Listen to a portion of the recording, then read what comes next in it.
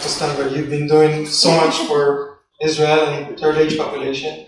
And this is not only a national problem, but an international problem. And your intervention in this introduce Dr. Stambler.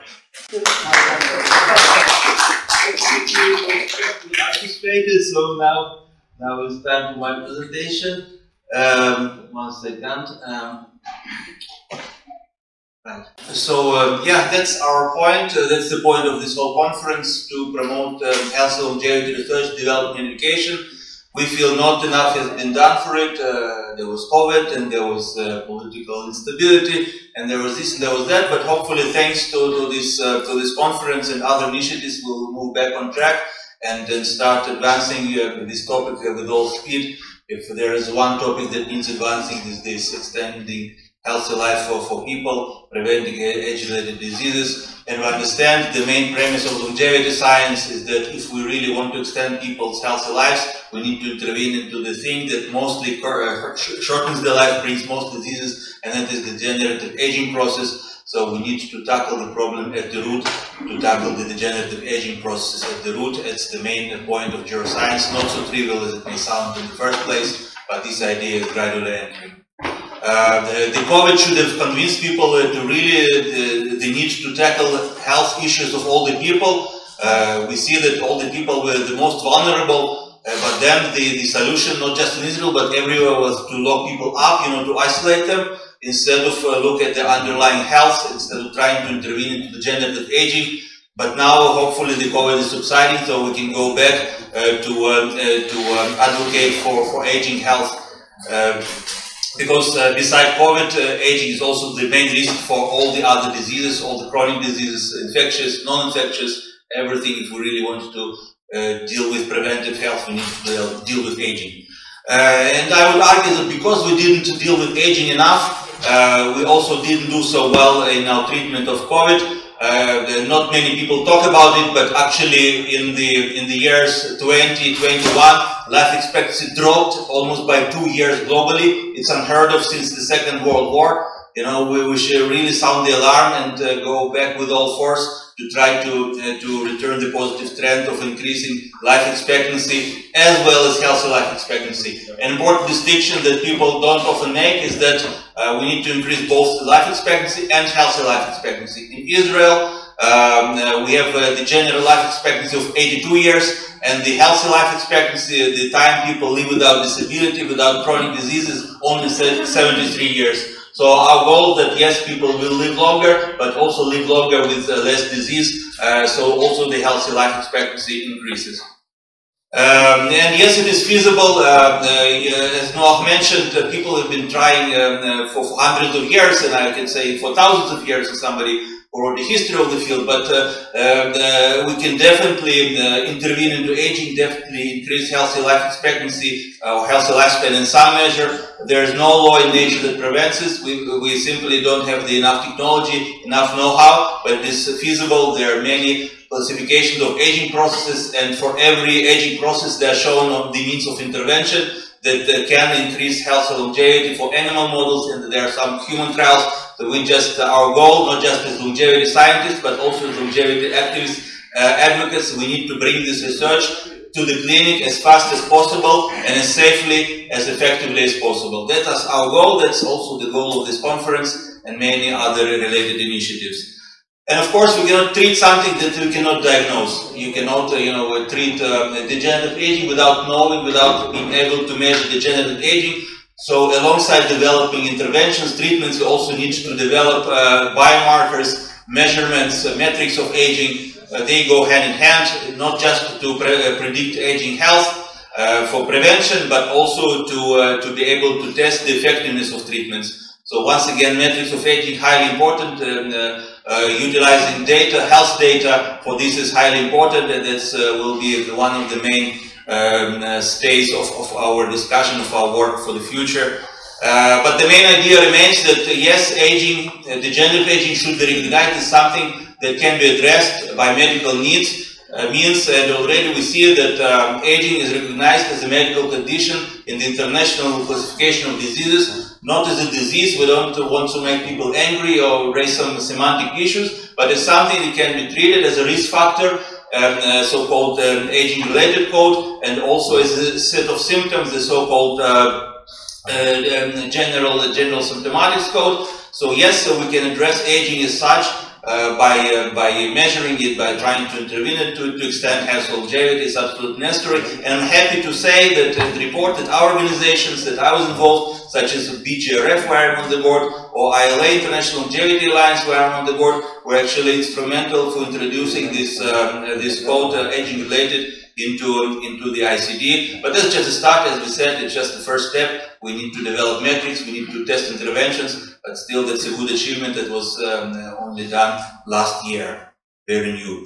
Uh, and uh, once again, advocacy is very important, not just science, uh, without uh, public support, without state support, governmental support, scientists simply don't have the money to do their research. So that's why uh, advocating for aging health is very important.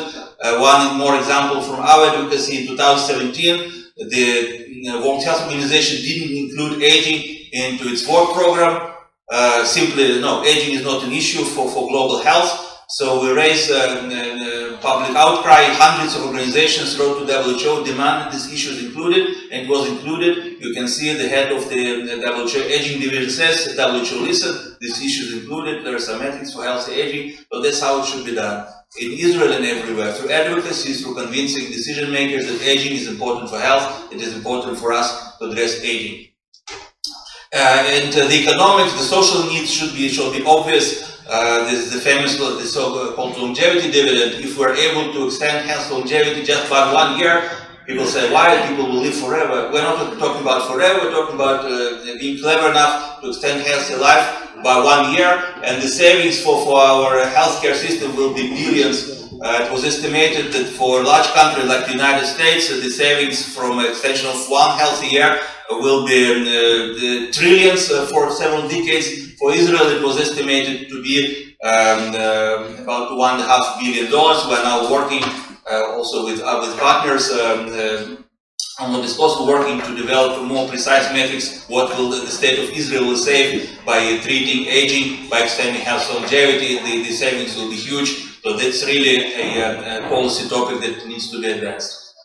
And uh, Israel obviously has a tremendous potential to advance in this field uh, as a, a, global technology hub, as a biotech hub. Uh, people with excellent um, uh, with excellent skills, uh, with excellent uh, workforce, connections around the world. So there's no reason why Israel should be one of the leading countries in this field. Um, and as uh, Rafi Eitan said, it is our goal actually to, uh, I can quote in Hebrew, but it is our goal to make it so that Israel is one of the uh, leading countries uh, for the longevity and quality of life. Uh, we have all the prerequisites, uh, prerequisites for that. we just need to apply this potential. And we try to do it through, through various initiatives, through policy papers, through outreach. Also, um, we will soon together with our partners, uh, the Aging Analytics Agency with Dmitry and others will be here. Biogerontology Research Foundation will issue a longevity industry report for Israel. They'll try to boost the longevity ecosystem for Israel, uh, show the important players uh, to draw attention to this field, to this industry. Um, uh, so that's also one of our initiatives. Uh, because right now it's not recognized as, as much as it should. You see uh, the um, uh, the budget for for science, uh, the state budget for science is about two to seven uh, billion um, uh, dollars. Uh, no, sorry, shekels. And the, the funding for aging-related issue is simply minuscule. It's simply nothing in comparison. About half a percent. you know, if, if we get 10 million shekel call for proposals from the Ministry of, of, of, Science, we should be very thankful. Obviously, it's, it's, it's nothing, you know, in comparison to the actual need. We need to, to, to really invest massively in research, development, education for health longevity. Uh, what else do we want to invest in? I mean, uh, come on. it should be obvious, but you know it's not obvious to decision makers. But hopefully, thanks to uh, to um, to conference like that, it will be more obvious. We really need to increase uh, budget and funding for this issue. And uh, actually, all those topics are part of the Israel National Master Plan on Aging, not many people remember now, you know, in Israel in general we have a short memory, but in 2019 there was issued an Israel National Master Plan on Aging. There was a special committee in Knesset that said for two years with the best uh, experts in the field, and they developed a, a, national master plan on aging, different topics, social topics. But one of the topics uh, uh, that I'm proud that our society introduced, the Vetek Association introduced, was enhancing research, development, and education for health longevity and prevention of age-related diseases. Uh, that's exactly the name of the topic in the Knesset uh, Master Plan of Aging. That's also the name of this conference. Uh, the actual goal of the sponsor is to try to revive this, ini this initiative uh, from back in 2019. And the three main points were to increase funding for aging research, increase education for aging research so people even know what aging is. Um, uh, there are no, almost no courses about aging anywhere, even in the, in medical schools or biology, biology departments, people don't know what aging is, or sometimes it's not even mentioned in textbooks. So we need to increase education about aging on every level, uh, I would say from kindergarten to, to, to matnasim to, uh, to uh, community education. And the last point is developing metrics of aging uh, in order to develop in, uh, preventive intervention, as we said at the beginning, uh, you cannot treat something you cannot measure, so we need to use the excellent health data we have in Israel in order to develop metrics for aging and also to test the effectiveness of intervention. Those are the three points that we hope to revive uh, through outreach in Knesset that we renewed, uh, through, uh, through this conference, through all the initiatives, because that is needed. If there is any policy, policy issue that needs to be raised in Israel, it is this one.